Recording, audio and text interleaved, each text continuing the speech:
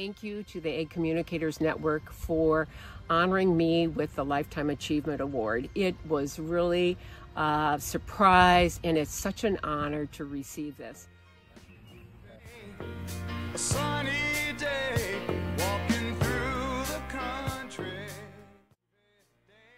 My career probably started when I grew up on a farm in northwest Iowa. I was actually Farmer Brown's daughter from Iowa, you know, corn, soybeans, cattle, and hogs.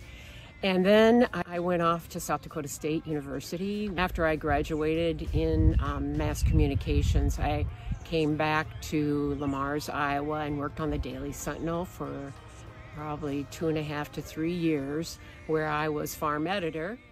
From the Sentinel, I um, met up with John Burns somewhere along the line at a hog meeting, and he hired me to come to Minneapolis, the big city, and work um, at Miller Publishing on Hog Farm Management magazine, which sounds rather gloomy, but it was a wonderful time.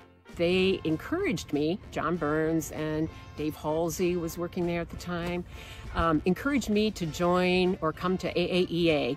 And when I went to that first national meeting, I thought, wow, this is where I belong. I just remember it was just a wonderful, eye opening experience and something I wanted to be a part of. So from then on, I've been to uh, just about every single meeting. The AAEA has been played a big role in my life. From Miller Publishing, I then, through the hog connections, I was offered a job at the National Pork Producers Council in Des Moines, but they were looking for somebody to improve their communications out to the out to pork producers to show their value. So they wanted me to come on staff and start a magazine as well as a couple other publications. Um, from there, I got married and moved to Cedar Falls, Iowa, where there wasn't a lot of job op opportunities, except at the time, Farm Journal um, hired on a freelance basis. But that was a, a way I was able to stay involved, have, have children, and, um, and further my career, and I was still a part of AAEA.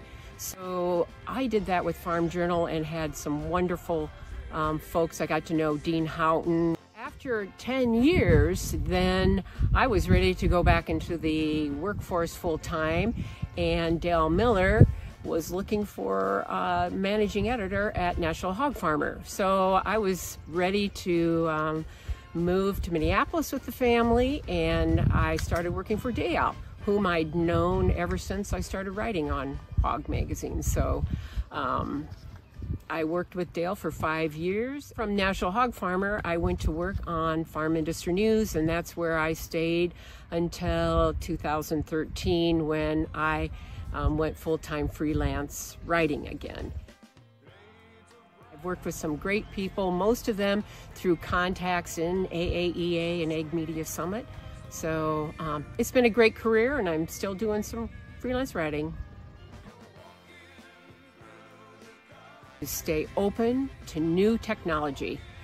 What we've seen throughout our career has been unbelievable. I think just be open to it um, go with it. Stay current and follow what your kids are doing. It's been a wonderful life. I'm interviewing so many different people in agriculture. I have to think there's been thousands and thousands of people that I've talked to and so many of them have had such interesting, wonderful things to say, and I'm still enjoying it and uh, enjoy writing about farming. So I hope to all of you out there that you enjoy your job as much as I have enjoyed mine. It's been a lifetime that I feel really blessed to have had. This career has been just wonderful.